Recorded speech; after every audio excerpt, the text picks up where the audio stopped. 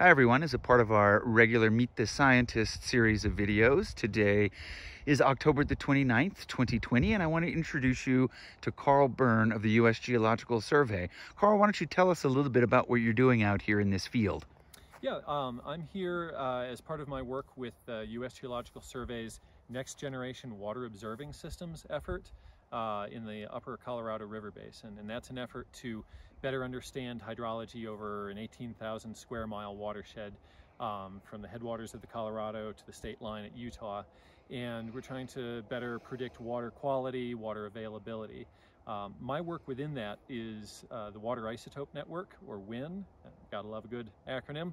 Um, and what I'm doing is using oxygen and hydrogen isotopes, stable isotopes of water, to trace hydrology and hydrologic processes like evaporation and figure out uh, elevations of recharge and things like that.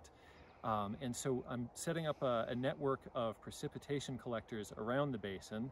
Um, most of these are seasonal collectors like the ones you see back here and they'll collect roughly six months worth of snow in the winter and rain in the summer protected by a level uh, layer of mineral oil so it doesn't evaporate. Um, and that'll give me a seasonally integrated recharge uh, signal.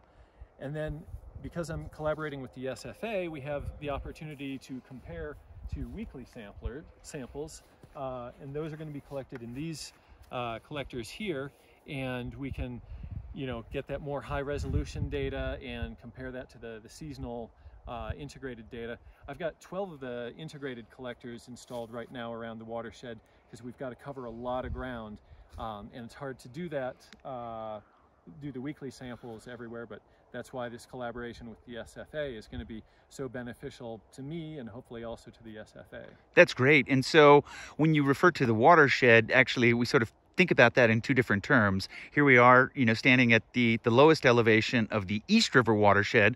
We're actually on a floodplain of what's referred to as the Estes Ranch. This is a property owned by Elizabeth and Bob Hughes, and they've greatly um, provided the opportunity for us to locate our lowest elevation sampler in the East River watershed.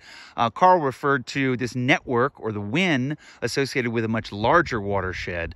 Uh, really, they're looking at uh, processes occurring throughout the entire entire upper Colorado, both the Colorado River main stem, its primary tributaries, and the entire Gunnison. And so this collaboration represents kind of our, our first formal opportunity to show a nice linkage between DOE funded activities through the Watershed SFA and the USGS funded activities of the NGWOS um, program.